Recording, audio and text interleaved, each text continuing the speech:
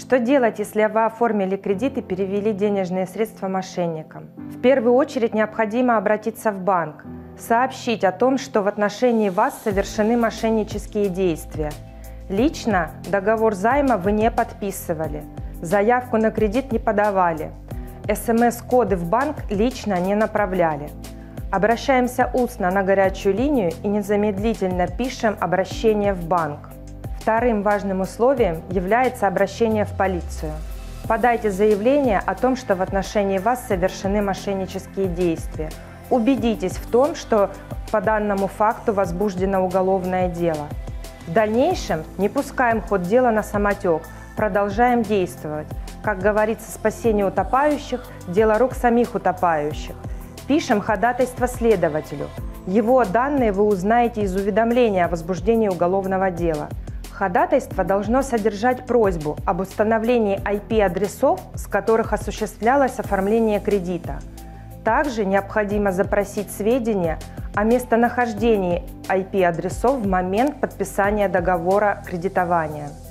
В последующем эти данные будут служить доказательственной базой в судебном разбирательстве. Третье условие – это обращение в банк за аннулированием договора кредитования – пишем о том, что мы договор не заключали и просим аннулировать договор. Естественно, банк откажет, но далее мы идем в суд.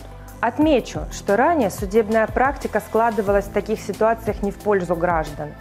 Но в конце 2022 года Верховный суд изменил такой подход. Приведу примеры. Гражданин потерял телефон, о чем оповестил банк.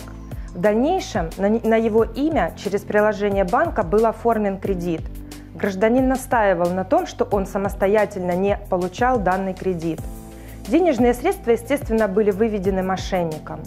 Он обратился в полицию. Было возбуждено уголовное дело.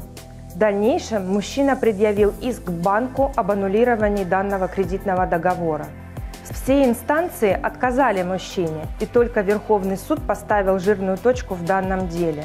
Суд встал на сторону гражданина. Он подтвердил, что его действия были добросовестными и лично кредитный договор он не заключал. Аналогичная ситуация произошла с женщиной.